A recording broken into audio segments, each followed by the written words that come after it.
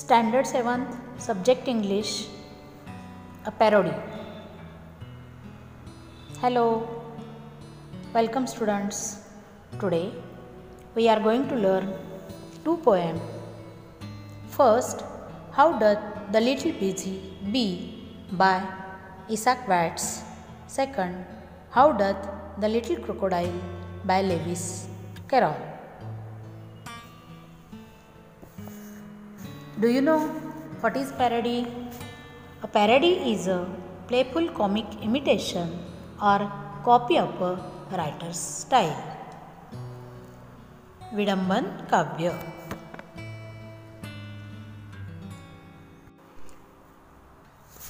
A parody is a playful and comic copy of a writer's style. In the chapter, Lewis Carroll's poem How Doth the Little Crocodile is a parody on the poem How Doth the Little Busy Bee written by Isaac Watts. The first poem describes a bee as an example of determination, effort, and struggle. The bee makes great effort to collect honey. On the other hand, Carroll's poem makes fun of the bee by giving an example of a crocodile. The crocodile doesn't struggle like the bee to get his food. He washes himself in the river and welcomes the little fishes with smiling jaws. Lewis Carroll uses the crocodile as an example of laziness and slowness to laugh on the busy and active life of the bee. First poem how doth the little busy bee ही कविता Isaac Watts यांनी लिहिली आहे. यामध्ये कवीने काहीतरी उपयोगी काम करण्यामध्ये सदैव व्यस्त असणाऱ्या मधमाशीच्या व्यस्त जीवनाचे वर्णन केले आहे. मधमाशी उमलणाऱ्या प्रत्येक फुलामधून संपूर्ण दिवसभर मध गोळा करत राहते. गोळा केलेला मध साठवून ठेवण्यासाठी खूप कष्ट करून मेणापासून सुंदर असे पोळे तयार करते. हे खूप कौशल्याचे काम आहे. दुसरी कविता how doth the little crocodile या कवितेत कवी लेविस टरॉल यांनी नाईल नदीत राहणाऱ्या मोठ्या आकाराच्या शिकारी मगरीच्या व्यस्त जीवनाचे चित्रण केले आहे. मगर दररोज आपली शेपटी आणि खवले नदीच्या पाण्याने धुवून चमकदार बनवते. मासे पकडण्यासाठी ती आपला नखे असलेला पंजा आणि जबडा नेहमी सज्ज ठेवते. या दोन्ही कवितांमध्ये दोन वेगवेगळ्या जीवामधील विरोधाभास दाखविला आहे. पहिल्या कवितेतील मधमाशी अत्यंत व्यस्त राहून आपले अन्न मिळवते पोळे बांधते. तर दुसऱ्या कवितेतील मगर पाण्यात निवांत पडून जबडा उघडून भक्ष्याची वाट पाहत राहते. हा विरोधाभास दोन्ही कवितांच्या संलग्नतेतून मांडला आहे. नाव students we see some new words cell. Here honeycomb लहानशी खोली. येथे अर्थ मधाचे पोळे claws curved and pointed hard nails धारदार नखे असलेला पंजा. Doth old English form of does करतो किंवा करते. गॅदर टू कलेक्ट गोळा करणे किंवा एकत्र करणे.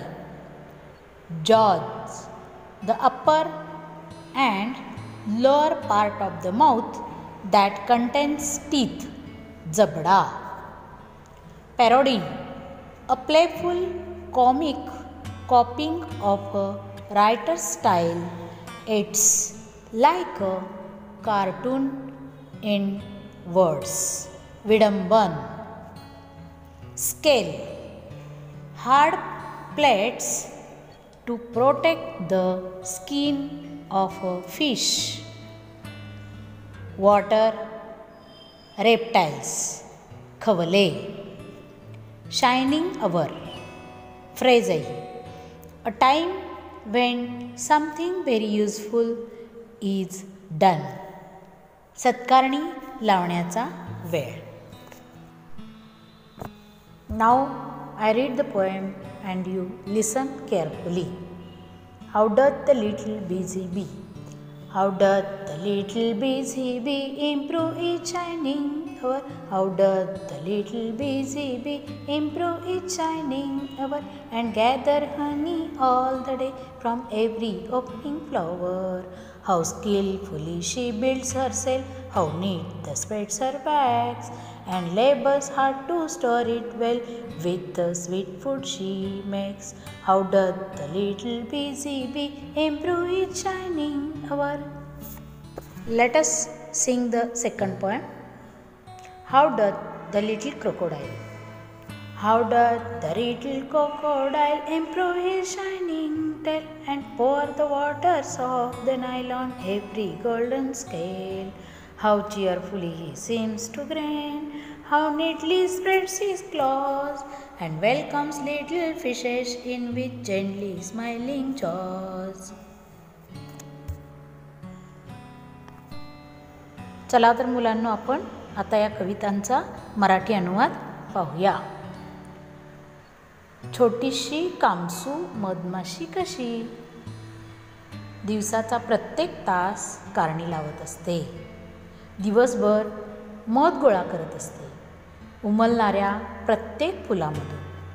आपले घर ती किती कौशल्याने बांधते? स्वतःचे मेन ती किती व्यवस्थित पसरवते? आणि स्वतः केलेले गोड अन्न घरात भरून ठेवण्यासाठी ती कष्टत असते. या उलट आता पहा आपली मगर कशी आयतोबा आहे छोटीशी मगर कशी आपली चमकदार शेपटी अधिक चांगली करते? आणि नाईल नदीचे पाणी तिच्या प्रत्येक सोनेरी खवल्यांवर ओतते. किती आनंदाने ती हसत असते. किती नीट आपले पंजे पसरते. आणि सौम्यपणे स्मित करणाऱ्या झबड्यात छोट्या माशांचे स्वागत करत असते.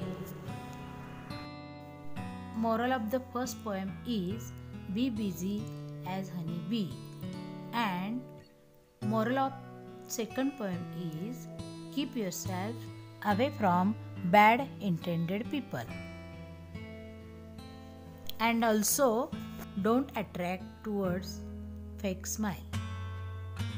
Now students, we see language study. Some transitive verbs can have two objects for example, sentence number one they gave him a book.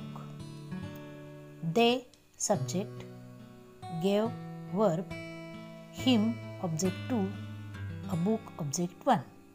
Sentence number 2 grandmother told us a story. Grandmother subject told verb object 2 us a story object 1. Sentence number 3 Asmita wrote a letter to her father. Asmita subject wrote verb a letter object 1 to her father object 2. Object 1 is the direct object and object 2 is the indirect object. Now underline and label the direct and indirect object in the following sentences. Mrs. Desai teaches us English. Object 1 Us. Object 2 English. He brought some water for the old man.